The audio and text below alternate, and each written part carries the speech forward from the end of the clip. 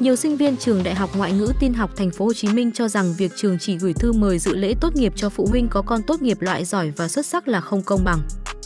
Theo thông báo từ trường Đại học Ngoại ngữ Tin học Thành phố Hồ Chí Minh, trường sẽ gửi thư mời dự lễ tốt nghiệp dành cho phụ huynh sinh viên tốt nghiệp loại giỏi, xuất sắc trong lễ tốt nghiệp tổ chức vào ngày 27 tháng 10. Không ít sinh viên cho rằng điều này là sự phân biệt và không công bằng với những sinh viên và phụ huynh khác.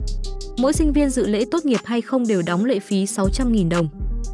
Trong khi đó, một sinh viên khác cho biết lễ tốt nghiệp có phần tất cả sinh viên xoay người lại sau lưng cúi người cảm ơn bố mẹ, gia đình. Liên quan vấn đề thư mời, đại diện trường Đại học Ngoại ngữ Tin học Thành phố Hồ Chí Minh cho biết có sự hiểu lầm của sinh viên về thông báo của trường. Theo trường này, việc gửi thư mời dự lễ tốt nghiệp cho phụ huynh sinh viên tốt nghiệp loại xuất sắc, giỏi đã được trường thực hiện từ nhiều năm nay.